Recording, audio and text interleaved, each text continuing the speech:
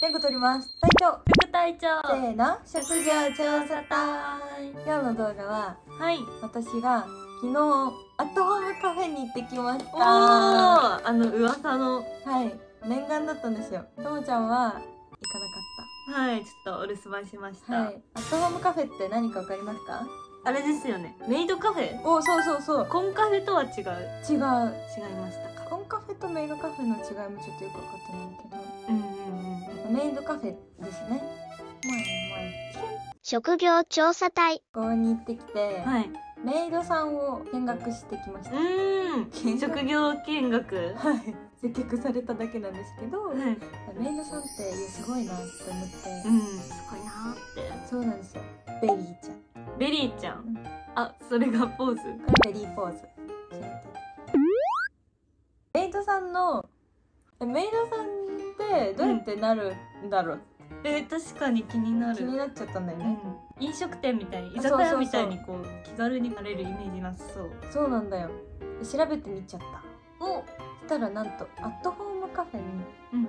入りたい人に向けてのサイトがありました。おお求人サイト。そう。なのでそれを多分ね世の女の子うんにはメイドさんになりたいなっていう子が少なからずいると思うのでうんみんなと一緒にシェアできたらなって思います。うん思います職業調査隊。紹介するのはお仕事内容と入店までの流れ募集要項を読み上げますね。はい。職業調査隊。お仕事内容可愛いメイドさんでいることが大事です。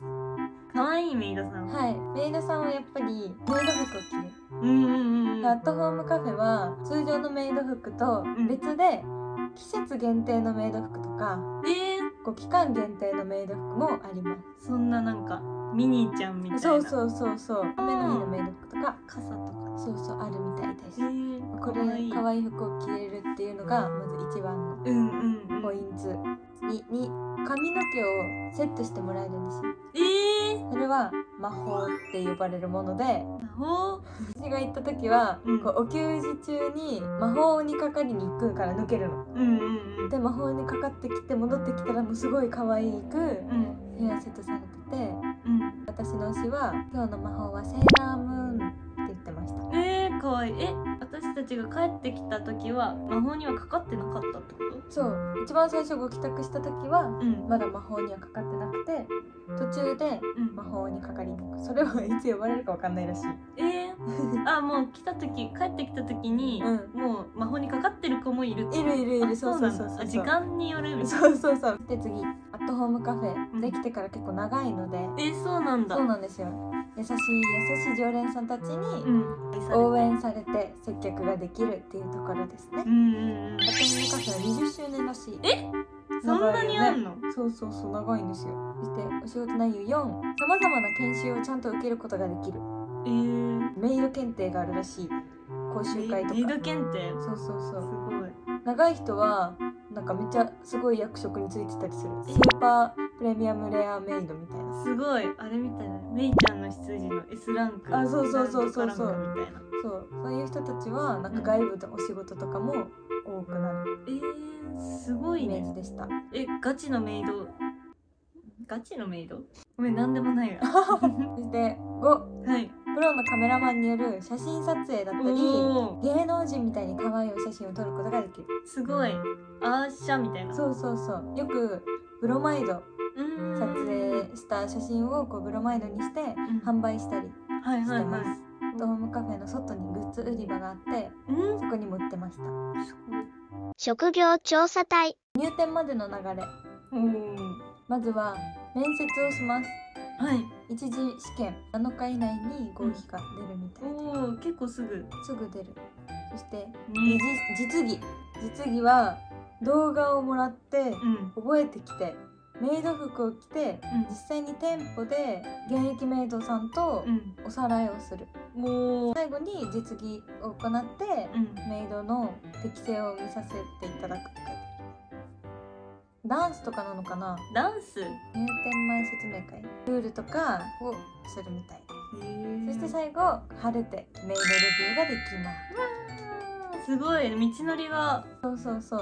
長い。なんか秋葉原にいるメイド通りみたいなのがあるんだけど、うん。ここってビラ配りしてるんだよねみんな。うん。メイドさんたちが。うん。でもアットホームカフェってそれがないんだよ。え？もう20周年だから人気だから、うん。来るのお客さんが。勝手にもう来ちゃうんだそうそう倍率高いと思う。うわ私的に。ーうんうんうん。可愛い子しかいなさそうそうそうそうそう。みんな天性のメイドみたいな。メイドですよ。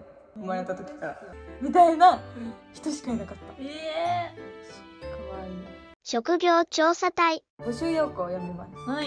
年齢が16歳以上。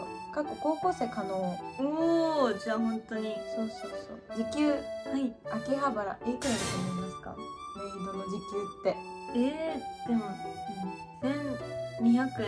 おおどうだ秋葉原は1170円えから。からか。からっていうことは多分そこから。うん。メイド検定とか受けて。え多分自分のグッズとかだと思あうから歩合制になるのかえな、ー、すごい。と思いました。なんかプチアイドルうんうん。というのでしょうか、うん、大阪は1120円。名古屋が1100円です。え。ー、あすごい。展開があるんだね。そうそう大阪そうと名古屋にそうそうそうそう。東京が一番高いですね。うんうんうん。さすがに。はい。なんかシフト制らしくて週2うん。日うち土日1日以上を含む。うん。やっぱ土日がたくさん。浮きタくされるので、うん。ね。そして1日4時間以上は絶対入ってください、うんということですね。営業時間は11時から22時。土日が10時から22時なので多分その時間。うんうん。4時間はいてねそうそう。週2日4時間以上。うん、で土日どっちか。うん。わ感じです。そしてアットホームカフェの手当おうん。充実しております手当あるんだ。そうそうそう。祝日手当時給100円アップ。残業手当おお。勤務時間8時間以降。うん。基本時給25%アップ。基本時給から25%深夜手当、22時以降。基本時給から25%アップ。おーじゃあ閉店作業みたいな、うん。ありそうですね。交通費お1日900円まで支給。制服代とかうん。時撮影とかブロマイド撮影はうん一切かからないみたいです。おーえめっちゃいいねめっちゃいいいね毎月上級査定があるらしい。えー、すごい。じゃあ頑張れば頑張るだけ。うんうん。素敵なメイドへ。なれる。職業調査隊。採用条件。はい。大事ね。うん。まず秋葉原大阪日本橋。うん。名古屋大須にある店舗企業での掛け持ちをしてないこと。お次ーはい、風俗店水商売。うん、萌え系のお店。当店のわ当店のサービスに類似するお店との掛け持ちをしてないこと。ー。はいはいはいはい。次タレントアイドル事務所に所属している方はうん。事務所側の許可を得ていること。はいはいはいだから許可が得てたらアイドルでもなれるんだね。あそうなんだ。次18歳未満の方は親御さんの同意を得ていること。うんうん。高校生とかね。